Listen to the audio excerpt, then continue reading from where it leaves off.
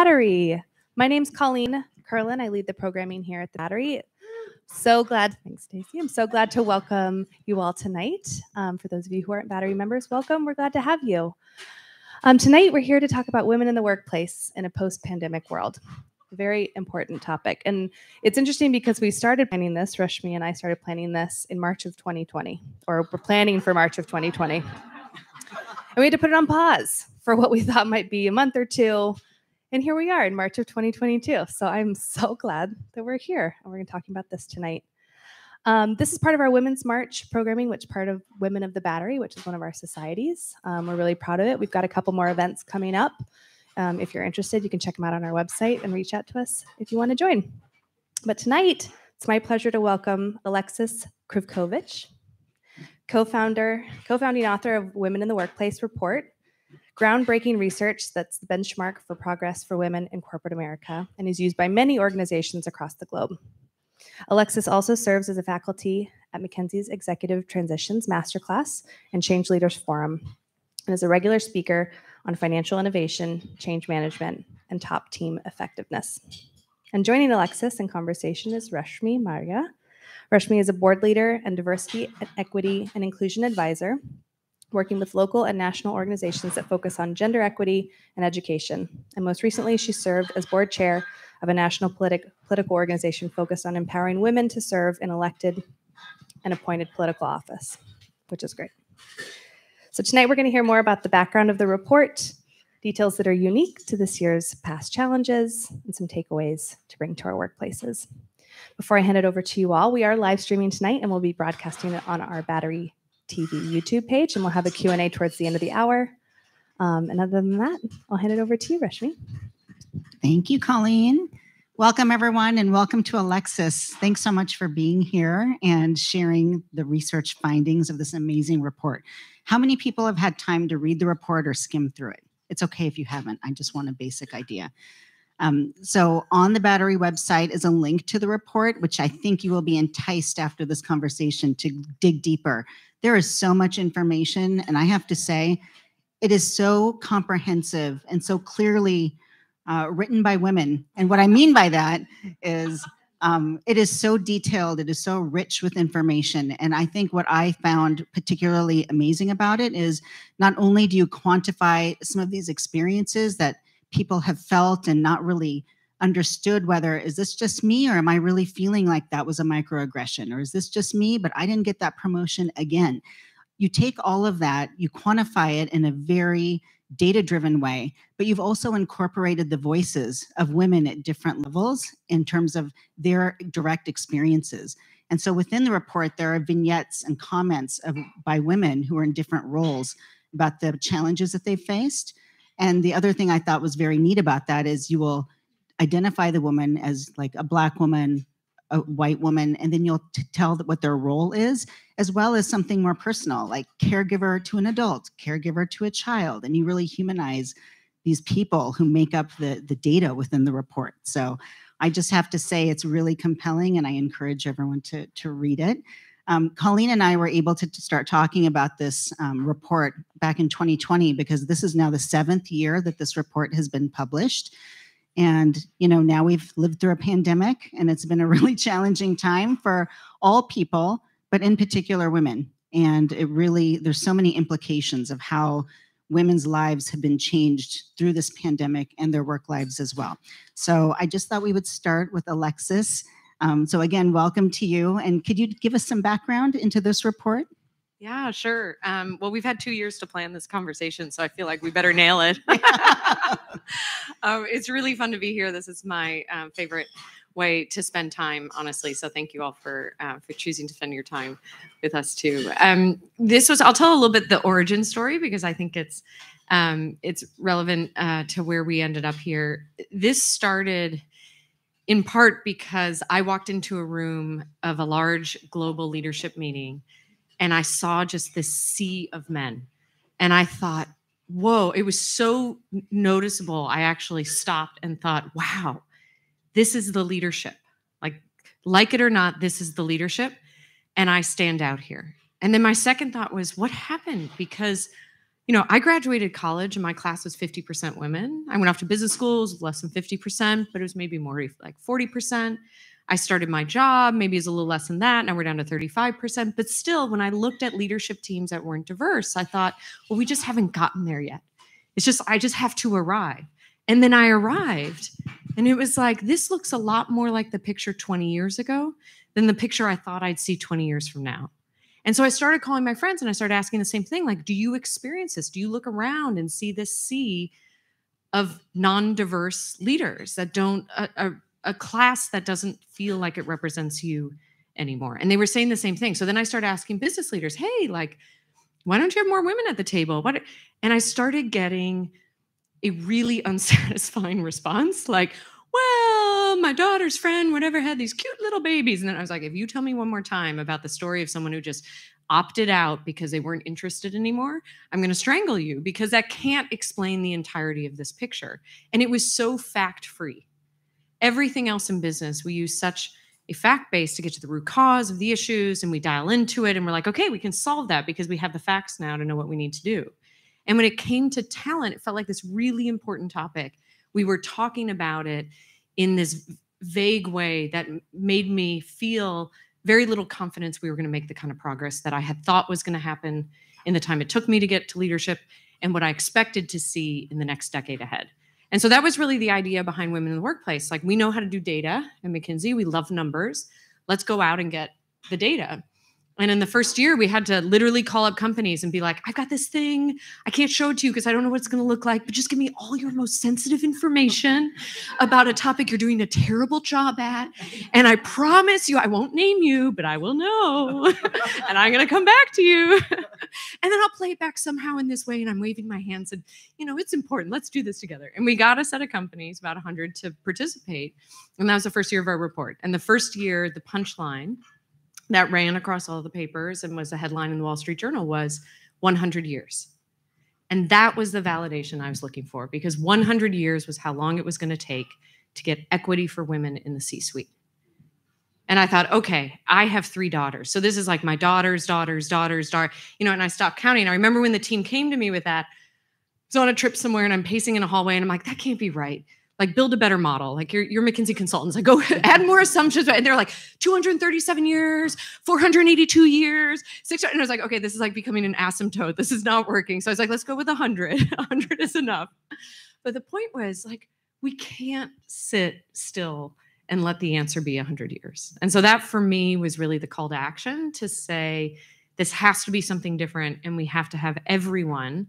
I mean, I love seeing a room full of women and some very um, brave and supportive men, but we need actually room of everyone talking about this conversation. Yeah, I totally agree. And I think because of this report, because of the tools that you've also provided within it, I'm, I'm hopeful that we can shrink down those 100 years because the best part about the report is not, it does lay bare some very stark facts about how difficult the pandemic has been, about the difficulties that women face in the workplace but there's some very concrete tools and action items that can really drive some change. So I think let's just start with this concept starting at the beginning of someone's career. I'm going to read, I just thought it would be nice to bring in the voices of some of the women so um, who are detailed in the report. So I just want to read a quote about something that you deem and call the broken rung. It says, I've talked to white men who started off in the warehouse and now they are at the VP level. I've also talked to a lot of brown and black employees that have been here for 15 years and are at the same level that they started at or a bit higher, but they are nowhere near their white male peers or, or their white peers. And that was a black woman in a senior manager role caring for an adult person, an elderly person. So to me, that really speaks to the fact that yes, people do want to progress to your earlier point. Don't tell me that everyone's opting out. I know people want to. Can you tell us about what is the broken rung? What is that phenomenon and what is the implication of that? Yeah, I think this was one of the most important findings we surfaced in the data a few years ago, which is when we first painted the picture of the pipeline, what you see is a picture that starts near parity. So this is these are roles that progress to um, senior level leadership. So this is what we think of as corporate America. It includes smaller companies, includes bigger companies across all industries. It does not include field workers, Um, in general, it does not include wage workers who are not on a path um, of leadership pro- progression because we're focused on getting leadership in the top. And there's very important and different um, work that needs to be done on those other questions. But these are people who should have access to continue to progress. And what you see now today, seven years in, is 48% are women and nearly 18% are women of color. And that's pretty close to representative, not quite, but pretty close to representative of the population of talent they could be pulling from. But by the time you get to the C suite, you're down to one in four. And for women of color, you're nearly not represented at all. One in 20, one in 25. And so everyone focuses at the top because that picture is awful. And the greatest gains have happened at the top. So we can celebrate that progress is happening. I'd argue it's because we were so bad and so far behind that a lot of companies, in fact, what we found, the way they've solved that is they've added roles at the leadership level to create a new seat at the table. It's one way to get there, but you can't infinitely solve a problem that way. But what we found in the data that was so fascinating about the broken rung is that the biggest moment of inequity is at the very start. The first step up from individual contributor to what we think of as first level manager is the most imbalance between men and women proportionally for whatever you have in your company. So, wherever you're starting from, whether you start at 50 50, 60 40, it doesn't matter. But for every 100 men who leaps forward, only 86 women do. 86. And you think, like, well, not that far off. But we're talking about cross populations of hundreds of thousands of individuals in any given year. What you lose in that inequity is a talent pipeline of 2 million future women leaders who, when companies look to hire or to pull up the next leader into the ranks, they don't have them because they've lost it at the very start. And that's what we call the broken rung because in most organizations, it's the least managed place in the pipeline. We spend a lot of time at the top. We think about diversity slates. We do all of this extra training and work.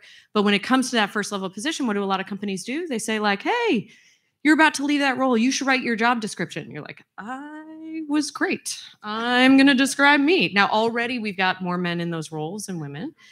You add all these things that actually aren't necessarily factors that really describe success in the role. They were just factors that worked for you. And so it creates this gatekeeping, which is a huge challenge. Like I write up, well, I I was the head of lacrosse. I'm going to write something about sports now. You know, I mean, all these things that don't actually in any statistical way matter. And then when you don't get all the applicants you want, you go around and you tell people, like, you should apply, you should apply. And what do we know is that men will generally apply if they meet 60% of the criteria, women will apply when they meet 100. Well, right there, you're not even going to see the applicants that you would want. And that's before we've even introduced any amount of bias in the evaluation process itself, because we know in evaluations that men are promoted on potential and women are, are promoted on performance. So I want to see a little more track record. I want to see a little more time. And that's why what you see ultimately with Broken Rung is women, like this case, feeling like again and again the opportunity passes them by. Well, one thing you pointed out before is when you are trying to get to that first promotion, how much previous experience can you really have? In the sense that both sets of those people could be very equal. They both started at the same time. One is a man, one is a woman, but because of the evaluation process being probably very biased, they're just not going to get that chance because women do often get the feedback that you're not ready, not yet, not quite, maybe just these other two or three things, but you don't really hear that as much with with men getting that feedback. So, if that's the case, um, I'm just wondering, do you have suggestions that from your report of what companies could do in order I don't to know what, address? I don't know what to do, but no. it's hopeless. That's the next conversation. Uh, I mean, on the broken rung in particular, I think there's a bunch of things companies need to do. So the first thing is you got to look at the data. Like you got to actually peel back the layers and stare at it really closely and not at the aggregate level because aggregates hide a lot of sins. Like if your whole company feels really diverse to you and it's all women in marketing and it's all men in engineering, that's not diverse and you're not getting the benefit of what all the research shows diversity is all about which is the tension you put in the system with different thoughts different perspectives and different experiences so you actually have to stare at it and go oh bleep that is really uncomfortable over there right? That we don't have the diversity spread the way we want. You've got to look at each time you do a round of promotions, just pull the numbers and say, did we get the proportions we would expect? And if not, let's go back and review it. When we go to campuses, we don't say, like, well, just put up a shingle and see who shows up. Companies actually seek out the types of talent, the breadth of talent they're looking for. You need to do that inside your company too. Don't wait for people to raise their own hand. You have to go out and find it. And then you got to take the playbook that most companies now, the good news is, have really already developed at the top around, you know, the training, the bias interruptions, the things that actually get you to reset when you have structural difference in the system that's giving you out unwanted outcomes and and reset the process. Like one of the things we see quite clearly is that the feedback women and get and men get is very different. And for any of you who's a woman of color, even more so in terms of how a lot of the exact same results that people want to see are couched in very different terms. So you're a man, you have a meeting and you really fumble it.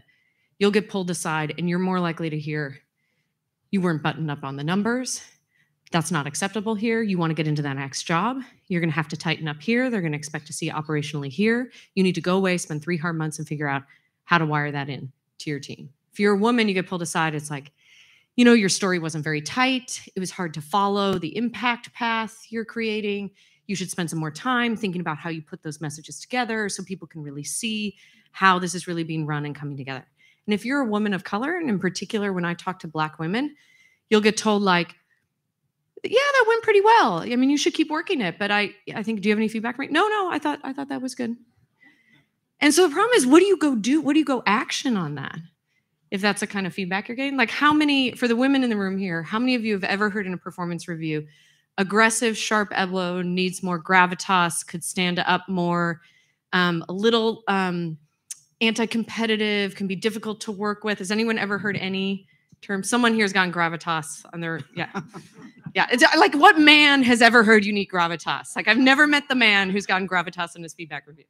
Um, but what we saw so when we first did this research we asked like hey do you ask for promotions do you ask for stretch assignments do you ask for advancement and women and men at increasingly equal levels will say yes but then we also asked hey have you ever gotten feedback that you're arrogant aggressive sharp elbow difficult to work with um, non-collaborative pushy um, bossy thank you. What was that? Abrasive yes. What was that? Nagging, nagging yes. All yeah and we're like could we do just like a word cloud right now? Totally yes. And the thing was was we then cross cut it by had you asked for an advancement or an opportunity for something more and if you were a man like first of all those words just didn't show up on your list but if they did at all no correlation like whether you asked for a promotion or not whether you asked for a stretch assignment or not whether you asked for a raise or not no correlation women you were twice as likely to hear that in a feedback report in some performance review if you'd asked for anything to advance. And so this is the double bind. It's like we're not getting the opportunity. The broken rung is real. We've measured it, it persists year after year. And so we're like, so go ask for it. You go out there, you ask for what you want. Oh, you're a little bossy. you're you're kind of naggy you're a little abrasive to work with. And then you're like, what the? Oh, and by the way, we're not going to pay you the same amount for the same job. And you're like, all right, I'm out of here. And that's and that's effectively what women start to feel. Well, I think one takeaway as well for people thinking, well, what am I going to do if I'm in that situation? So if you are being given feedback at work, really thinking about was that feedback useful and is there something I can operationalize and do with that? So, you know, I will just give a little benefit of the doubt to the people who are struggling to provide this feedback because to me it indicates that they're not trained properly that they feel a discomfort with oh i know that there are people that i'm trying to be a little bit more delicate with and they're not understanding that the way that they're providing feedback is actually harmful so it's a good question to ask ourselves when we are receiving feedback or when we're doing a performance review. Get specific make that person get specific and say help me understand how i could be better at that or can you give me something quantitative to wrap my arms around? Do you yeah. have any other suggestions no i mean i think that's spot on. The the thing i encourage everyone to do is say i would like to get to position x. What is a skill you think i need to build to get to position x so you name it so they know what your ambition is and then you anchor them on what you actually want, which is not like, oh, I think you could talk a little more slowly. Okay, I don't think that's going to get me to there. So, like, what that's good. What else would help to get to really the specifics that help you progress? And when you see someone describing or giving feedback, like, well, I think they're good, but they're just, they just don't quite have it. Well, nobody can action don't quite have it. So, you can always be the person to for someone else who says, like, well, that's really hard to work with. Like, what's a specific observation you'd have about a skill they need to develop further? And then in companies who really do this well, what they do is they take that specific action item and they assign it not to the individual to go solve for themselves, but to the manager and say, you now own getting her to there. Yeah, and in terms of training as well, I think one thing you've talked about in the past is that companies with HR departments who are hiring in have gotten better about anti-bias training and things of that sort, but they need to now take that and apply it to this first level like of training managers and helping them to provide feedback to objectively set criteria because people don't always understand what is the objective criteria that I need to meet in order to progress. So, so it's not a really hard unlock in the sense that No, in I many cases it's working, right? Yeah, The- I think the playbook is there. I think I think what a lot of companies miss that we see is, you know, 92% of companies will say we have standard objective criteria we use to evaluate employees. Of course. I mean, first of all, it should be higher than 92% because you probably get sued if you don't. But like every company is like, yeah, of course, we have standard objective criteria we use to evaluate performance. Only 47% of employees will agree that they see standard objective criteria used to evaluate performance. 47%. I mean, we haven't even gotten to half. And the reality is, I sit down with executives all the time. We're like, what's the silver bullet? What's the new thing I haven't tried? I'm like, how about the thing you're doing today that isn't yet working? I mean, there's this huge daylight between the aspiration that most organizations have today and their execution of how that's playing out on the ground. And so that's a big piece of it too, is just getting from we have these tools in theory, we're applying them inconsistently, only at the top, sometimes not really that well at all. Um, and what a lot of organizations need to do at a minimum, or as part of that process at least, there's a lot more they can do if they really want to lean into it, but is really start with like, how about you make sure the stuff you've you think you've rolled out that you're patting yourself on the back for is actually working. You know, I want to talk a little bit about the pandemic because this report has been published year upon year, but this is the first time the report has been published after a pandemic when the work landscape has changed radically. And in learning more, we, we always knew that women take on a second shift, right? People, women go home, they're largely in charge of childcare, household duties, etc. But one thing that is also pointed out is because of the pandemic, there's something called a triple shift, which I was like, whoa, the double shift was enough. And now there's a triple shift. And I thought this was really interesting because to me, it builds the case for, you know, there's so many reasons why women in the workplace eh, it makes sense across every dimension, whether it's financial impact, whether it's just, you know, the way that women support other employees. And in this case, the triple shift is really largely about the emotional load that women take on to caretake and to build up their own employees and their coworkers. So maybe you could talk about that a bit more. Yeah, I mean, it, it was fascinating. We in the early days we measured the double shift, which everyone knew existed, but we put, you know, we put the numbers behind it. And what I found fascinating was irrespective of your level in an organization that you had achieved as a woman, and irrespective of your balance of earning power, even when you were not only the primary but the sole breadwinner, you disproportionately did the household work, no matter what. You disproportionately did the household work. And in fact, mothers with young children in the pandemic, when everything exploded, were spending five hours a day or more on household responsibilities. Because if any of you in the room had kids during the period where there was no schooling, there was no childcare, daycares were closing, there were no camps, you were like, principal, also grading papers and a line chef cook and you scrubbed a toilet while you were on a conference call and then you did your you know your day job. And then you also like shot you know like a quesadilla out the door to somebody like and here you go you're still in your pajamas but good luck to you right? So you were doing this crazy. And what was fascinating is like fathers of young children were not having the same experience. They just they were not. Like they literally would say like a little bit. No, you know, so, I mean, it's been kind of nice. I get on my Peloton a lot. You're like, I'm gonna strangle you. Not not all of them. Not, all, of them. No, no, but the point was, and and there were all these like there were all these mismatches in in how this all played out. So 70, 77% of fathers said across the pandemic, you know what, my my life balance got better. Yeah, yeah. You're like, oh my god. like, I'd like to meet you and sit you down for an hour at my kitchen table with my children.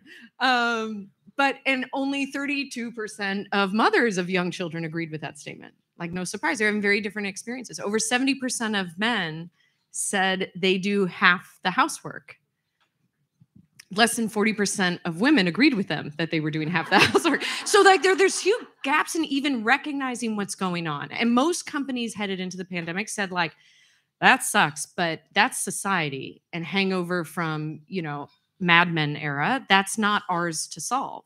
But the problem was the number one thing that women worried about was their job performance. They worried about the stigma associated with caretaking, where the guy would get the like, oh, look at you, dad, taking a moment, and she'd get the, I'm not sure, are you working at, how many hours are you working? When are you getting this stuff done? Right? They worry that they'd be measured on inputs, not outputs. They just worry that they might lose their minds before they could get all this stuff done. And that was the double shift that just exploded. But what we found this past year that I thought was so fascinating was this point about the triple shift. And the triple Now's shift, the time to take a drink. I swear we're going to get to solutions. Um, but the triple shift was this phenomenon we saw that the same thing effectively was happening in the workplace too. And it wasn't office housework, which has long been talked about, but isn't easy to measure. This was the core stuff that companies were saying really mattered right now in the moment of the pandemic. And what we saw very clearly is women were disproportionately doing it. Women were women leaders are 60% more likely to check in on their employees' well-being. They're 26% more likely to be checking in to see if your workload is manageable, if you've got the balance you need, and how you're spending your time. They are twice as likely to be sponsors and mentors to those rising up in their organization beneath them, even though they're half as likely to be in leadership themselves. They are disproportionately doing the diversity, equity, and inclusion work in their organizations. And even though 87% of companies say that work is critically important, especially right now, only 24% of them actually evaluate it as part of your performance review and give you any credit for doing it. Or any compensation. or any compensation. Oh, compensation. Have another drink. right. I'm going to read this quote um, about the this triple shift from a woman in the report. It says, "I feel so much responsibility for my team's well-being. There is no line between the weekday, the workday, sorry, and the after work day. We underestimate the impact this is having on people emotionally and personally. I am taking care of everybody. I will regularly have conversations with my team about questions like how are you feeling? What do you need? And how can I remove barriers? And that is so exactly what you're saying that that this critical work of retaining employees and keeping them going through this really really hard time fell on the shoulders of women disproportionately. Well, and what was fascinating how we did the research was we asked everyone, right? And some of my colleagues who worked on this there, and they always point this out. Um, we asked everyone, "Hey, manager, do you do this? Do you do this? Do you check in on people? Do you? and everyone's like, "Yes, I do that." And then we ask employees, "Hey, does your manager do this? Do that?" And it's like it was just like the conversation about um, objective criteria. People are like, you know, not so much. But when you ask them, hey, do they do that? And they said yes. And then later you ask them, hey, is your manager happen to be a woman or a man? And you cut the data that way, that's when you see the difference. So we think we're doing all sorts of things. We all wake up every day and we think we're we're giving it our all. Everybody thinks they're giving it their all. But what we see clearly in the data across, and this is nearly 70,000 employees across every walk um, of life in terms of the industries and jobs they hold in corporate America, what we see consistently in the pattern is we are not doing it equally. And women are disproportionately holding this load. And it matters not only because it feels good and it's just the hallmark of good leadership, it matters because employees who say that their manager does check in this way, they're happier, they're less likely to leave, they show much lower levels of burnout, and they're focused on their jobs. And in this moment of great reflection and attrition in the hottest job market we've ever seen, companies are like, yes, I need that. And they're like, that's so great. Do you reward that? No, I do not yet, but I should. And maybe they don't know how to measure it.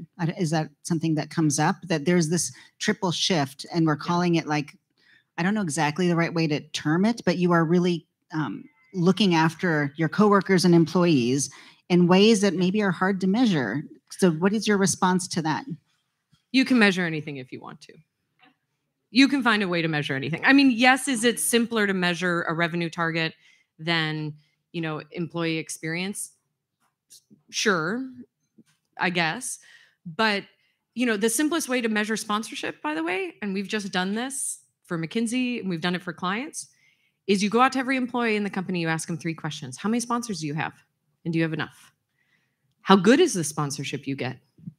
Here's a drop down list unaided of everyone who's a leader in this organization.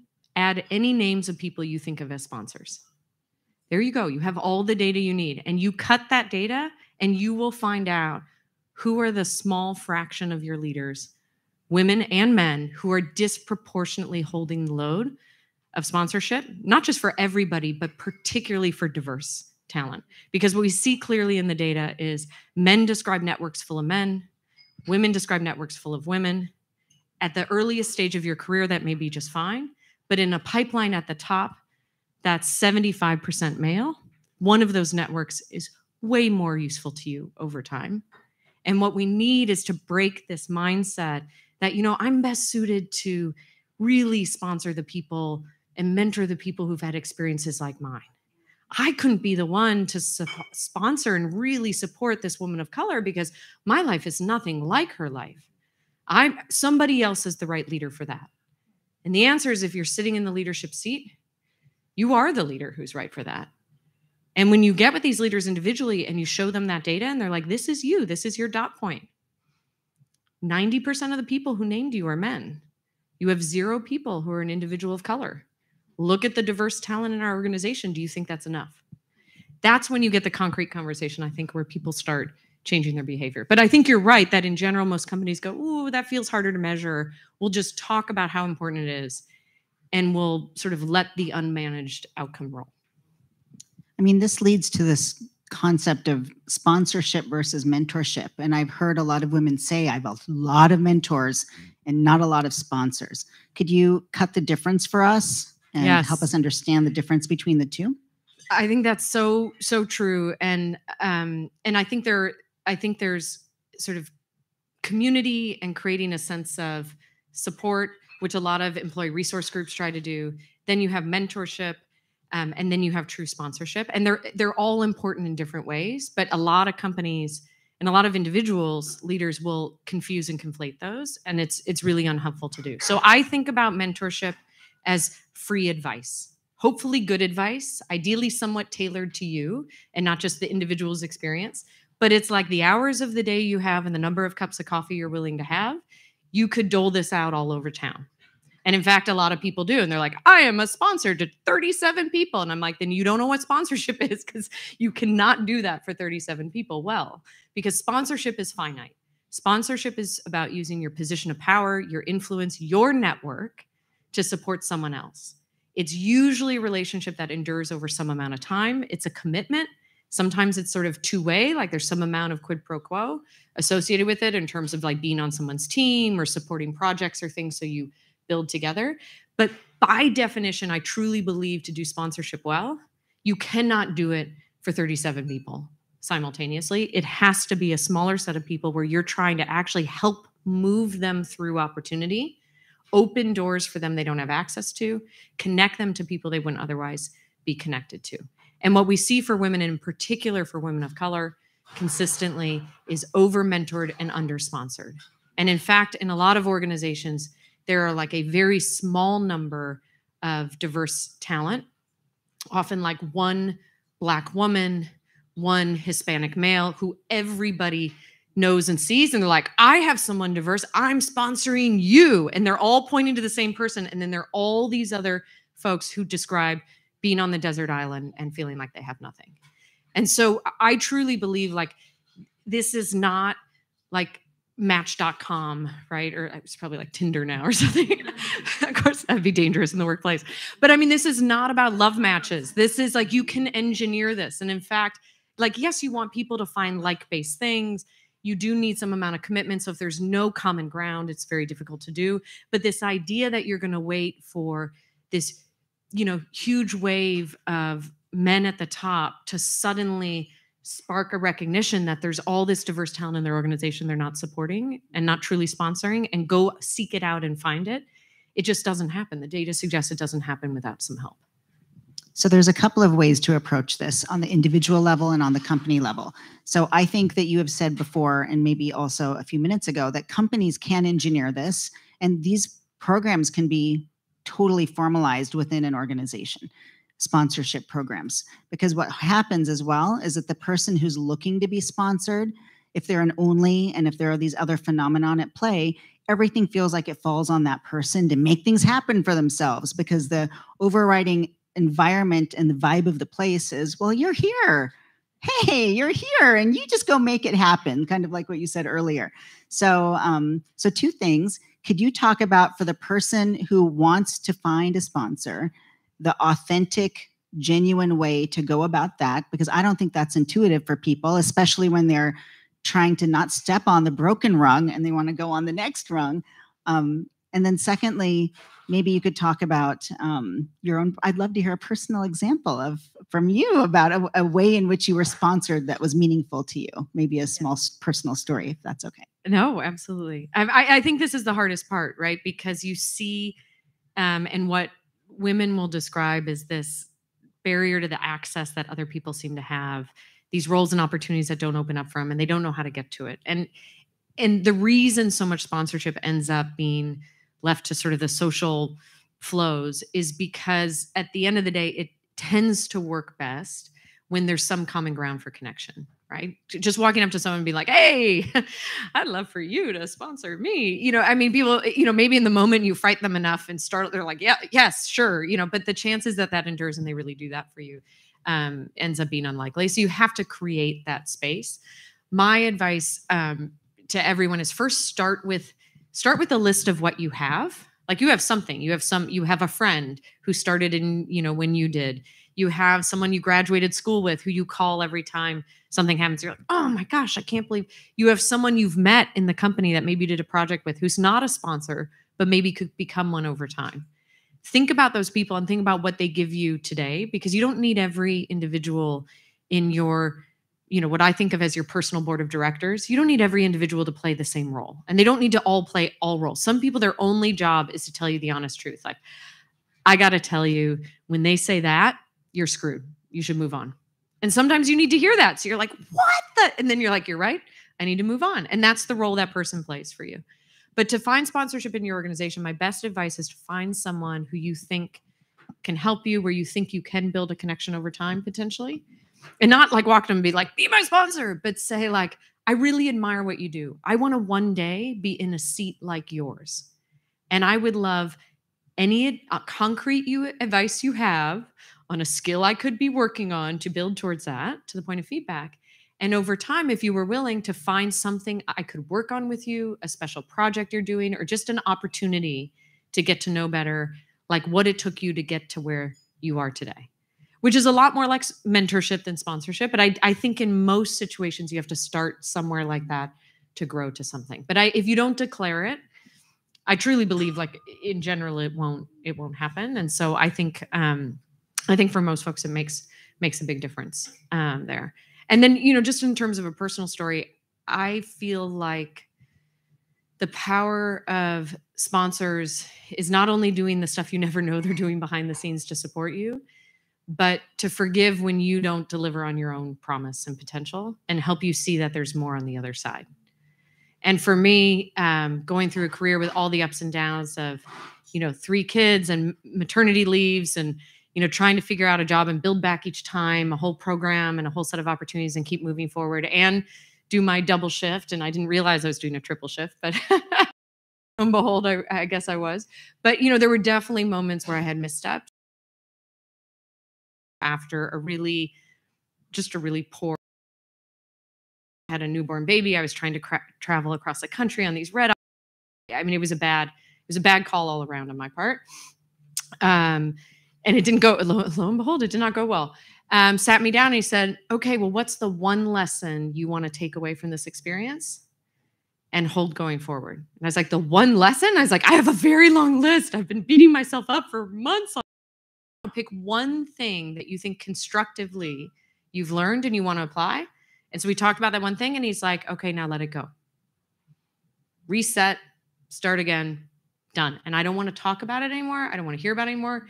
And you're not going to hear about it anymore from anybody. And I was like, wow, like that was a gift to have someone say, like, it doesn't need to be perfect. And these things don't follow you forever. You can have a moment where you can say, okay, I'm going to pick one lesson. And then there's a bunch of lessons I'm just going to say, like, you know what? Like, not, not for me, and take the rest of it in confidence. And the fact that he had that confidence for me allowed me to sort of reset mine. Yeah, that is that is amazing, right? Because you kind of expected this person to come at you probably with, "Oh, let me just tell you the eight things that I see or that I've heard from other people." But he had faith in you. He knows your potential, and he knew that he knew your life circumstance as well. So, that's a really great story.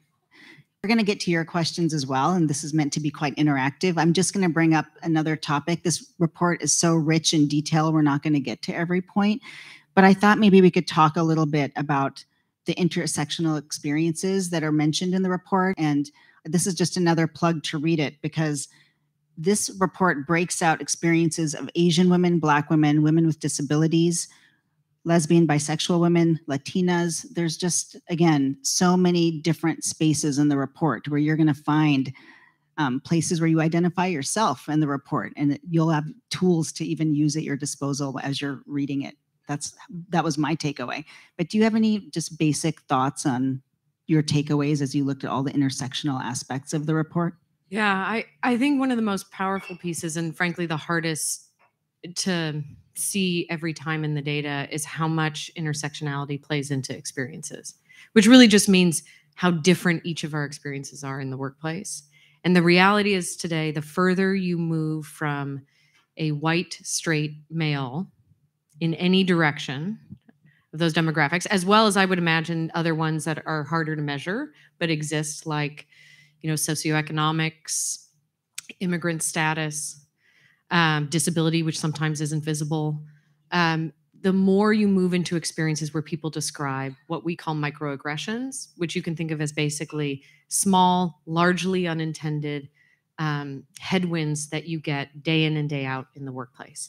These might be simple things like being interrupted and talked over. They might be being questioned for your intelligence, your experience, your background. They might be mistaken for someone who's not there to play the role that you're there to play in the room. Um, sometimes they involve more overt, challenging things like overhearing comments that are derogatory um, about your one of your identifying characteristics, um, not being included in events and activities. But in general, most people describe these as I know that's not what they meant. I know that wasn't intended. I know he's not interrupting me again and again and again because he's like, today I will interrupt you. You know, it's just happening um, but it happens so much more frequently. Um, it happens more frequently to women than to men, happens more frequently to women of color um, than to white women. If you were a black woman, you describe this experience again and again and again. If you're a woman with disability, you describe this experience again and again and again. And it's so noticeable and it's it's heartbreaking because it's hard what the data shows is how hard it is to appreciate if you don't have that experience all the time how frequently that experience is to happening to people around you right and this is a lot of what i think companies need to acknowledge like we we don't have it right yet and in fact black women were most likely to say the last 2 years of the pandemic their workplace inclusion went up because suddenly we were all on zoom Suddenly, it wasn't about my appearance or the backdrop. I could just blur that all out. Suddenly, I didn't have to think about if I was going to get a seat at the table or the invitation to the gathering or the opportunity because we were all democratized and equalized in our experience. I wasn't missing out on the inside joke or the activity because it was a lot harder for all those things to happen in a f- fully virtual world. And it says something about how much we're not quite getting right yet in the workplace that that's um, that's the experience. And so that's been a lot of the uh, the truth in the report. I think one of the biggest things we found was the experience of being an only. So when you are diverse in any form, you're more likely to say, I frequently find myself in situations in the workplace where I'm the only representing my gender, my race, my background. And the reason that's important is because that's associated with microaggressions. It's also associated with the pressure of, oh, wow, she spoke up, you know, for that woman. It's probably because she's a woman. Oh, wow, she didn't speak up for that woman. Queen Bee, it's because she's a woman. Oh, wow, she said something. She didn't say something. She said something, but she didn't, you know, I mean, you're like, oh my God, people, the 17th man in the room, we did not scrutinize the way you're scrutinizing everything coming out of my mouth. And if you are a Black woman, the frequency with which you experience being an only is so high. And so you have this experience that is described not only by Black women, but in particular as I am both hyper visible and totally invisible at the same time. I don't have any of the sponsorship, I don't have any of the access, but wow, everything that comes out of my mouth, we're like, you know, like, mm, you know, categorizing it. And so I think for a lot of companies, you know, one of the things that's happened over the past two years um, with the murder of George Floyd, with the different conversation we started to have about racial justice, was a recognition that you know the rising tide is not lifting all boats. In fact, when you look at that pipeline, the gains we are making for women are almost exclusively for white women. We are not making the same gains for women of color, and we have to have the honest conversation about we need to do different things to solve different problems. I find it really encouraging that year on year, this report grows more and more robust because more companies are participating. You're pulling more people. You're getting a lot of data from employees, managers, people all across the company. So I think, you know, there's so much work to be done. We know that. There's things to be proud of and hopeful for. I'm going to ask one last question of Alexis, and then I'm going to pass it over to the audience. Um, you want a sip of water? Even I feel like I've been keeping you busy. Um, you know, one thing that you are able to do with this report is that you are able to look at the what you deem the top performing companies and really figure like you're able to look at them and say okay here are the top two to three things that they all seem to be doing that is leading to these better outcomes maybe you could talk about just a couple that come to mind yeah so this is my favorite part is that when we committed to do this report we said we won't take this on unless we're going to do it for at least five years and the reason we said that was because we wanted to be able to look and track performance over time. And most companies, and what we see in our own data, most companies have really fragile gains when it comes to diversity, meaning like all you need at the top is one person to retire, someone else to get a great job, and suddenly, you know, your C suite drops by half in terms of its diversity. And so it's not easy actually to measure and even evaluate what it means to be a top performer. But finally, over the course of all these years, we've been able to build this pattern in enough of a data set where we felt confident. And there is a set of things that top performers are doing. And top performers to us are outsized gains in diversity at every level of the pipeline, including gains for women of color, sustained year over year. So there, it's really a track record. And they do a bunch of things, but to highlight a couple that always stand out to me, they really dig into the data. They don't run away from it. They open up and look under the hood. They get really specific. They look across different job categories. We didn't talk about tech roles, but tech roles look like 1980, not where we want to go in 2040. And they get into that and they acknowledge it and they start thinking about solving at that level. And they're a lot more transparent about that data. And then, surprise, surprise, they tie it to performance. Like what measures matters, what you get evaluated on, what ties to your compensation, that sure counts and they tie it into their performance. It shows up in performance reviews. Leaders actually own the diversity goal. It's not just talked about, but it's turned into specifics. Um, in organizations that are really leaning forward, they have knockouts in your compensation tied to not achieving certain performance goals on diversity over time. They really wire it in. And then they get into the root cause of what's driving the bias or the structural differences they see.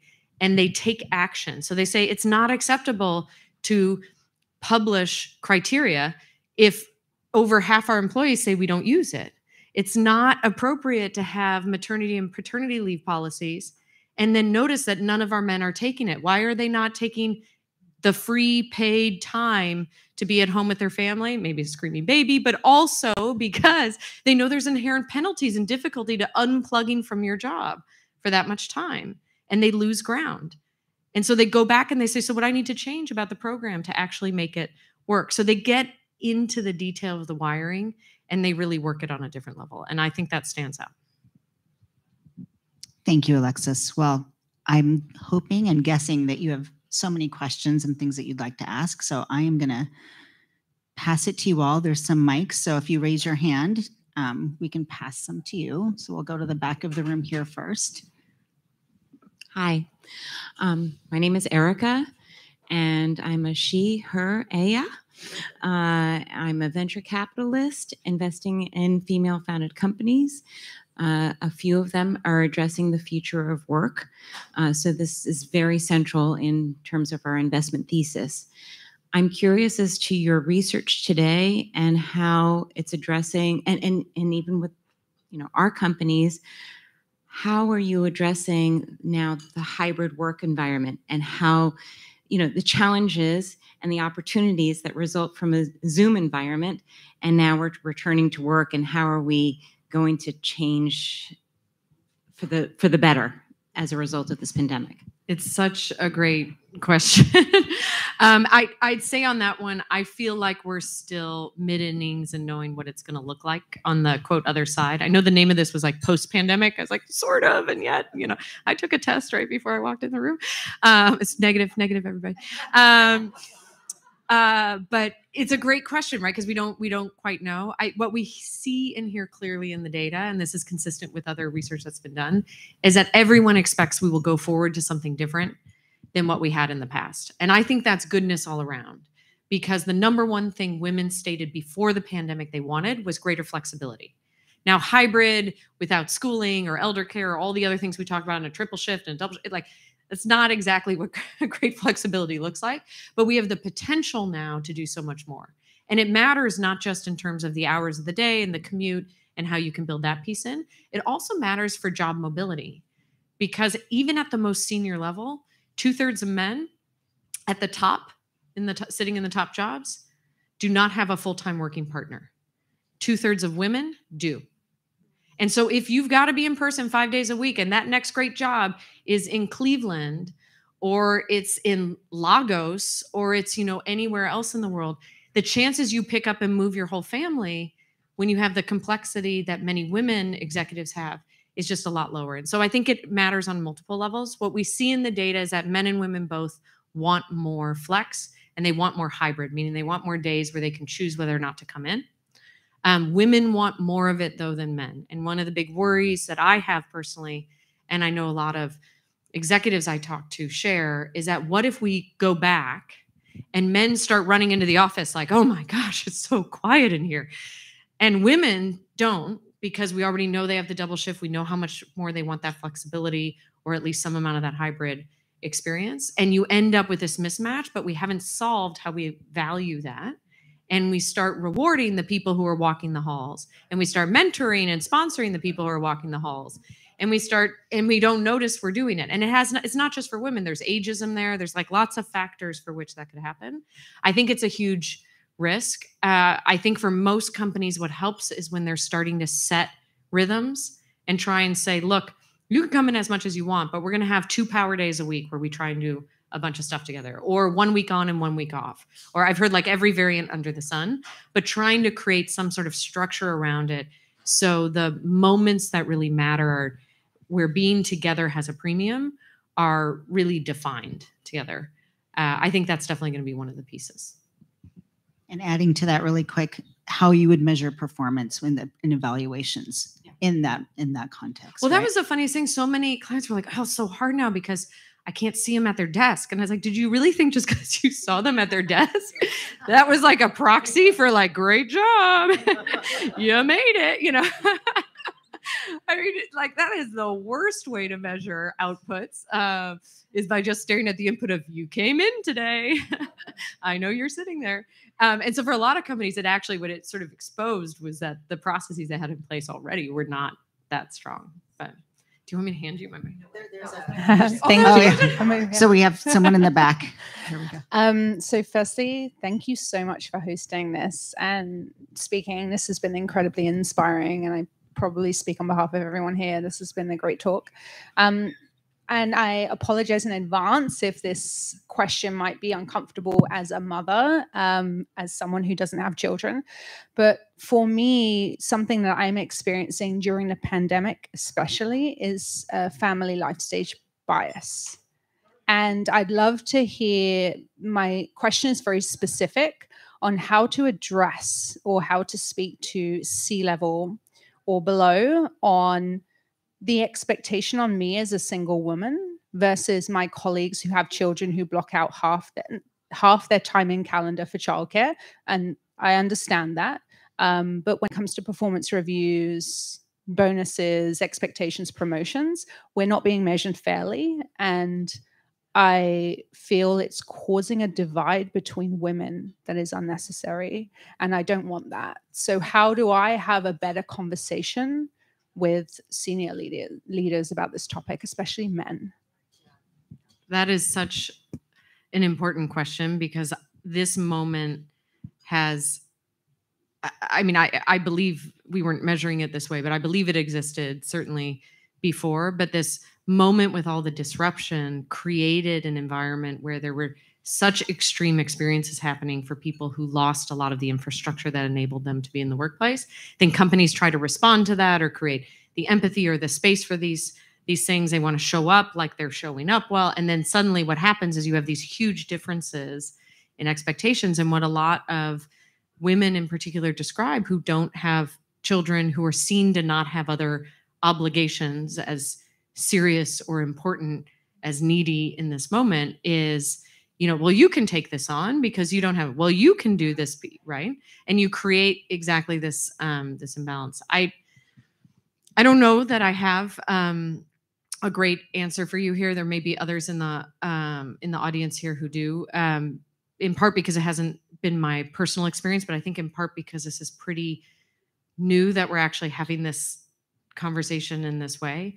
Um, I think some of it is, I, I believe a lot in getting to the root cause of what leads organizations then to operate this way or just kind of presume that you've got endless capacity and they can take advantage of that. And I think, so for example, in a lot of organizations, we don't do a very good job of figuring out what we're actually measuring and rewarding in people's performance and what leads to the next opportunity. And so we talk like, well, like, yes, you should take that on, you should take that on, that person couldn't take that piece on. And then they go ahead and they do this evaluation process or this, you know, this promotion process. And it doesn't seem like it's tethered to the fact base underneath it. Um, I think with a lot of leaders, they don't, they haven't spent a lot of time going back and scrutinizing their own process to question, is it working very well? I mean, what I find just in general is they don't. And I think in situations where you feel like you're disproportionately holding loads that are not being asked of other people, trying to make that more transparent, not about what other people are doing, but about the performance and the work that you are disproportionately contributing to the organization is really important because a lot of people aren't scrutinizing it very carefully. And they lump a bunch of stuff in a box of like, you know, good, you know, way to rally to the moment. And when in, fact, it's like a whole second gig you're running or a whole next level up that you're performing to. And so I do think there's something about having that conversation. Um, in a country where we don't yet have the type of childcare support we should, or elder care support, or infrastructure support, I think the challenge is most companies actually should step up and do a lot more um, to step in where government has failed us in that regard relative to others. And if they did, what we would find is we wouldn't have these huge differences that then lead you to end up with the unmanaged outcome of the parent who doesn't have the support behind it. But that that's not the individual, you know, that's not the individual solve, certainly. I don't know if others have thoughts or if you do. Yeah. Um, I see a person back here who's been very patient in the back, so I'm going to ask that we pass the mic to her. Well, one thing I wanted to say is there's an, actually a term for the bias around people who come back to the office and who don't. It's called proximity bias. And so that's something we've been talking about. I'm a head of HR in an organization, and we've been talking a lot about that because we have some old school leaders that are all about, let's get everybody back now. Okay, let's get back in the office. And a lot of our employees don't want to get back in the office. Now, some have to. We have labs, and you know, scientific people have to be in the labs. But um, those folks that have been on site the whole time some of them are the superstars and seen and and they should be in some respects but in other respects it's like well what about all of those folks that are not visible that are not again being seen just because they showed up at work and being valued for that? So anyway so proximity bias is a real thing and something we're working through. The other thing i was going to say uh, related to um, folks that have family caregiving responsibilities and those who don't.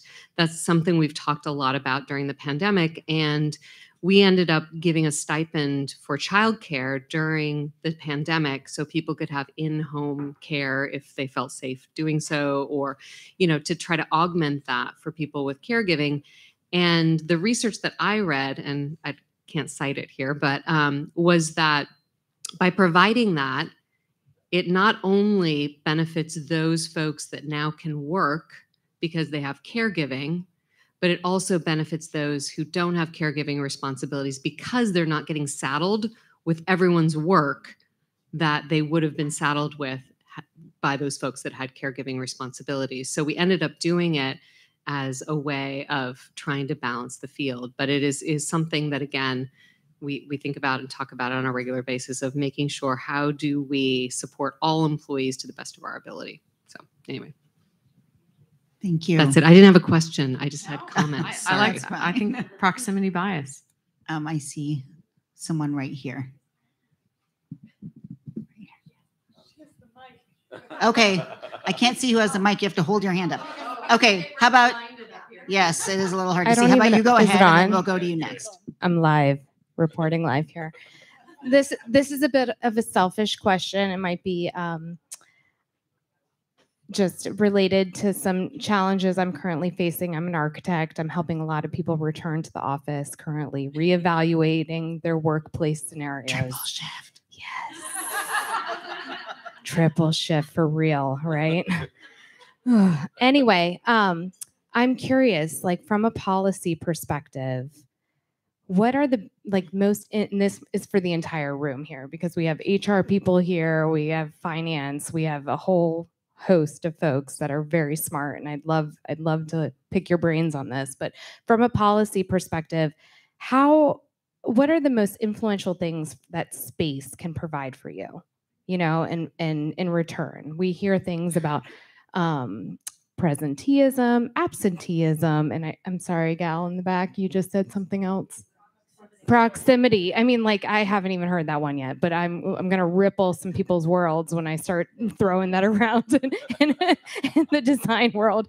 Proxetism like like come on. Anyway i'm just curious like how how can as a cog in the wheel of the built environment and workplace strategy how can i support um, diversity equity and inclusion? That's such a cool question. Um, so I'm hoping some other people have ideas too. Uh, so what what I think about that? I think what's kind of nuts is we got really excited about these open spaces and we're all gonna like mingle and hang out together and bean bags or whatever. And then like the pandemic hit and you're like, I do not want to go near that thing. And how sanitized is that? also, there are no walls and there are no private spaces. And um, so I think it's a really great question about how it needs to be thought through differently. I- I think we're going to move to a mode where there's more purpose to how people come together. And that's a really important piece about the space. Meaning, like the number of times I used to go to the office and I'd be like, oh my God, I got to get on a call. And you run up the elevator and you run into your like desk. You'd sit down, you'd race to the bathroom in between. You get up at some point, you'd see one of them come, you'd be like, oh my God, I'm so dead. But anyway, we got to go. And then you'd leave and then you'd leave for the day and you'd be like, wow, that was really great. I'm so glad I was with everybody in that meeting. You know, and you didn't see anybody. Like you didn't do anything. Or you all tromp into a room where you sit where one person talks for the whole, and then you tromp out of the room and you're like, God, that could have been, you know, over video or not at all and in an email. Um, and I think. I think there's a lot to actually now putting purpose behind it. Like what we see clearly is that employees are saying, look, I'll come, but it better be worth it. And so what does worth it mean? Like it has to have some meat. Like we're going to do it because we're all going to get together and let's do together in person what can only be done together in person to some degree. And so I think that does mean more collaboration. It's tricky in the context of people's sense of safety. Um, I do think the pandemic has flattened organizations. So executives say to me, I got so much closer to the people deeper in the organization because they could all show up in a Zoom. I could get with anybody. I didn't have to get on a plane. I didn't have to go do a town hall. I didn't, I could access. So I think there's something about finding ways for more people to contribute. And I think there's something really important about two way because if any of you were on some like really intensive chat bomb threads in the course of something, which is just a sign that probably could have been done over email, but you know, people want an ability to actually engage multifaceted while the main stage aspect is happening. So those are my couple of ingoing thoughts, but I don't know if other folks have some. You should raise your hand so people can find you after. And find her. Find her after. Shall we go to? I don't have a comment about that, but thinking about you know diversity, equity, and inclusion, and something that you have not mentioned, but I think all of us have felt at some point is the whole idea of impostor impostor syndrome. And what about with that impostor syndrome is external? Because when you are a Black woman, when you are Latina, when you're Asian woman, sometimes people think that if you get to a leadership position is because, oh, they needed to give it to her because, you know, we need a token. So, how do you manage that? Does everyone know what imposter syndrome is? It's probably a room full of people like, yeah, I think so. Um, right. Uh, and it, and it, I think you're really spot on to highlight it's not, it's not only internal, it's external. I like that frame because there are aspects of it that are entirely about, and it's often psychologically described about this sense that you haven't earned or you may not belong or you shouldn't be in the seat you're in. When in fact, everything in the data we look at says that, wow, how much harder it was for you to get to that seat um, than for a man going after the same thing. And the data just, the data doesn't lie, that it's literally, you know, mathematically that is true. And yet it still feels the reverse. And to your point about, um, then the external frame on that is like, well, sure, but she got that because you know we needed a woman at the table. Um it's it's so tricky. I i personally believe this is one of the reasons we need more data everywhere and we need more transparency because when you look at the numbers and you say she's in that seat and yet for every 100 men we move forward we're only moving 86 and yet we go from 18% women to a C suite with 2% women, 3% women, which means the vast, vast majority of C suites in this country don't have any woman of color sitting in them. And yet, and you show all these different data points, I think it helps validate that this isn't, there's no way this could be something that's entirely about you individually and do you deserve to be here or not? Because statistically, we're just getting it wrong again and again. And so um, you have to believe that not only should you be there, but there are three or four other people who should be there sitting right next to you who are not. Um, I, I truly believe that the data is one piece of it. Um, that's very important, but I think it's I think it's really difficult. And one of the things I I truly dislike is in a lot of conversations, especially when I'm talking to leadership teams that are not diverse, they'll say, "Well, what do you say to the person? Not me, of course." But the person who says, this seems a little unfair that we're just going to now help all the women get ahead and the poor men, not me, of course, I wouldn't say this, but what do you say to that person who might say, and I'm like, ah, yes, of course, somebody, that mythical somebody else. What I would say to you, I'm sorry, him, them, uh, not you, uh, is that the data doesn't lie. That you look at this math and you say, do you truly believe you do an excellent job choosing talent at the front end of your pipeline? That you get to 50 50, and that by the time you get to senior leadership, you were missing over half of those women. And three quarters of your women of color, and that's because they just couldn't cut it? Do you truly believe that that's true time and again? And they're like, no, I don't, I don't believe. it. Of course, it's not true, right? Um, and I think that has to be part of what we do is we hold up the mirror and say, come on, like I'm going to call the bullshit on that one. But it's really hard to do. Um, and it's used as an excuse then to say, I care about this, but I'm not going to put, I'm not going to put a goal behind my diversity because I don't want that goal to be like a quota. And then a quota would be like a tokenism and then a token. And I'm like, you're already worried about that. And you don't even have anyone at the table. I mean, come on, let's start with getting some people to the table. Like any one of the huge number of diverse talents you're bringing into this organization. And then we can debate if you feel like you're doing that in the right way without, you know, quote this this lowering the bar, which is the excuse that's often given. I think it's an excellent point. Though. I want to be respectful of Alexis's time. And so I'm going to just ask for two more questions and I'm going to ask for them to be kind of brief. Okay, that's three. I'll take That three. means I need to be. I'll take three, but that means you have to be extra brief to fit everyone in. So I'll, we'll go with you first. Hi, uh, my name's Sarah Nichols. I'm a plaintiff side attorney that represents women seeking equal pay. So thank you for the work that you do.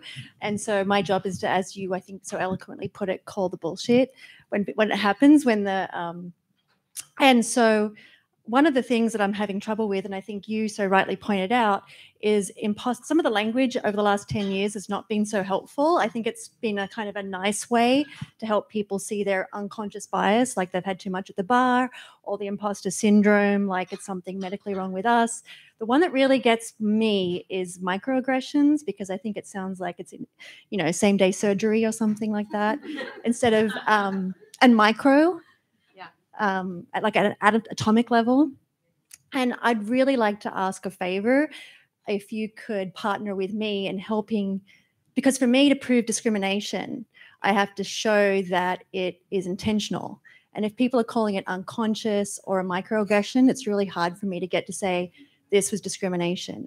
It's easy when I have an equal pay case because I could say Jim was paid X and Sally was paid Y, just the numbers. But the sc- discrimination is still harder for me to prove if they can say it's unconscious or it's um, a syndrome or it's some it's something micro. So I just really like to say thank you so much. I love a woman who or anyone who can spew statistics like you did on stage today. It's fantastic for me to hear that. But I'd also like to just ask you to help change some of the language on that. That's such a great point. Thank you. Hi, I'm Ellen. I'm Latina, born here in San Francisco, startups um, and high tech. Um, I'd like to try and end on a high note. Given the trajectory of timeline, how can we, you, as a leader and an influencer, raise up the next generation, the younger generation, if maybe perhaps some of the upper um, echelon is a little bit of a lost generation? So, how can you start infusing all these learnings into grammar school, high school, et cetera? uh, I think about this every day because I have three daughters. Um, one of the things I felt was both a great gift and a real disservice was that when I was raised, I was told, you can do anything. It's all going to be the same. You have a brother, two of you, same shot, same chance, you go. And I love that I was backed to the exact same degree by my parents and given the same shot of confidence. But I was sort of raised with this idea that I was in a post gendered world and it was all going to be the same. And it was like, well, not quite. And and equipping, getting comfortable with the fact that we have a lot of uncomfortable things and unfair and unbalanced things still going on um, in the workplace is really important because how could you be prepared to call it out when you see it? How could you be prepared to respond to it to actually um, navigate for yourself and also for those you want to help out coming behind you if you don't actually even realize until pretty late what's going on around you? And so I, you know, I love um, well, my kids will tell you, I love talking about this topic um, quite a bit. But, you know, I have conversations with them that I'm like, you know, you are going to need to remember that when you go out, people are going to look at you and they may say, well, why? That's ridiculous. I'm like, I know. And yet it's the case. So how are you going to actually respond to that? And the the thing I like quite a bit about the rise in the conversation around allyship is this idea that it doesn't just sit with people who've had that shared experience or who know what it's like to be in that seat. We can all do something to empower and create that better opportunity. And I love how you're thinking about it all the way into early education. But what's interesting about allyship is it's a bit like this point you were raising on bias, like, oh, it just happens. It's not my fault. It's the bias.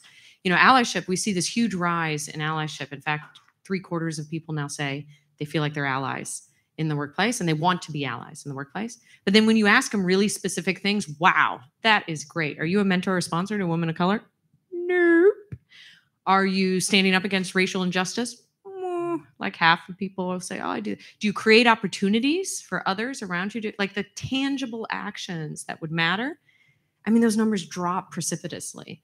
And so we do need to move from this point of like flinging the language around and patting ourselves on the back to actually acting on it. And I think that can start very early in teaching that skill. Like, how do you raise the awareness that we haven't solved it yet, we haven't cracked it yet? And then how do you give someone like at least one practical tip or tool to do? In one tool, I'll just chime in. I have a son and a daughter. And so, one thing I talk about with my son is I ask him to notice when a girl, because he has a sister he cares about, when is that per, when is that girl or your sister being talked over, and how do you amplify the voice of someone who is not being heard?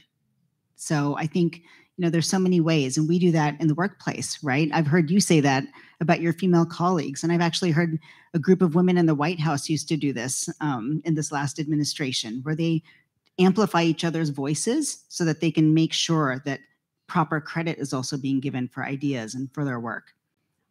I think we have one last question. Um, Just the person with the mic back. Thank you. I think, oh, there we go. Uh, I didn't imagine going last, to be honest. Um, and I have to say that the way that I met Alexis is because we were in a fundraiser, a room of 300 people, of which we were sat next to uh, one another at a table because we were the only two career moms in the room. Um, That's a true story. yeah, it is. Um, so, but I guess my question is that as a female CEO and business owner, uh, I think I'm in a unique position to actually have some power in making change. Um, and you know, I am very data driven. I love numbers. Yet, um, I feel like, unfortunately, because of um, the world of money uh, and these large tech companies in this area, especially having the resources to pay for companies like McKinsey to come in and do, you know, studies and, and provide information. Like that's where so much of the focus is, right? It's like you have 50,000 people. We're going to go in, we're going to try to make impact there. But we all know that that's like trying to move the Titanic. Um, so, how do you feel like for smaller businesses or medium sized businesses, like what they can do or what resources they can tap into when they want to make a change to get that sort of information? Yeah, it's um good question, Georgia.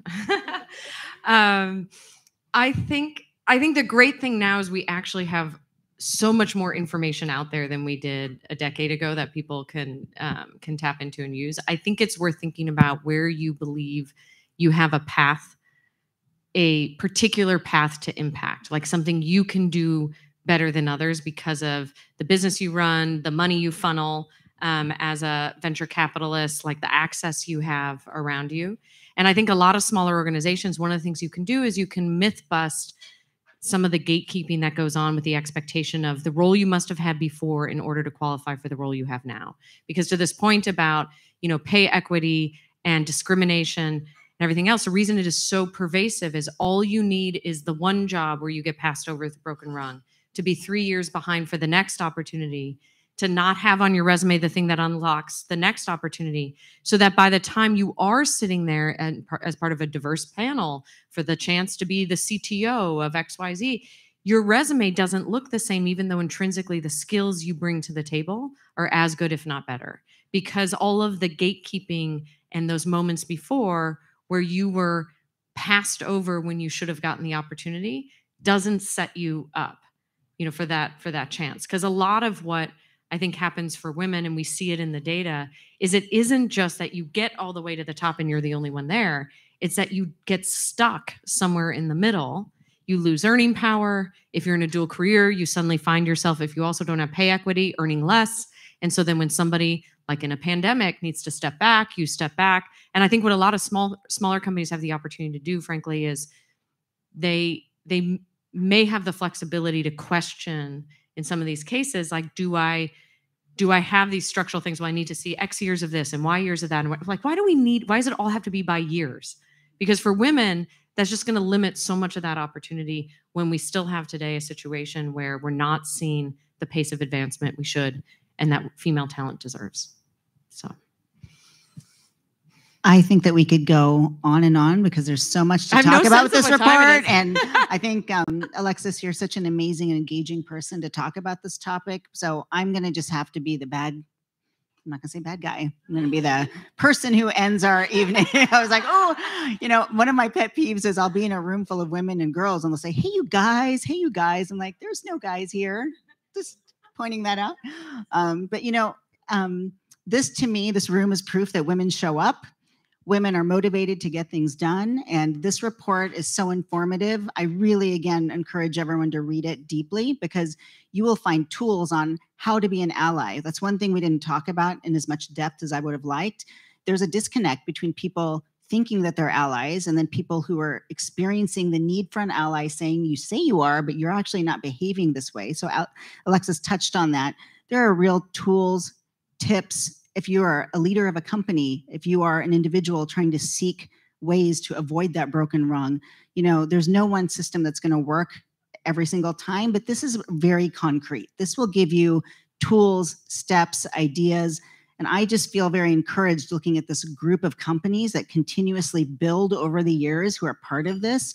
I think it's such a great sign that this work is so important. And if you can't measure it, you can't change it. So I just say thank you to McKinsey and Company. Thank you to Alexis. Thank you to Lean In. There's one slide that I wish that we could show, which is the list of contributors to this report. So I am going to ask you just acknowledge all these people who have put this together because it is a really remarkable piece of work. And we will look forward to next year's report and maybe having Alexis back or someone Well, from for Lean In or a whole panel next time. But um, thank you for your engagement and thank you, Alexis, again for your time. So much fun. Thank you.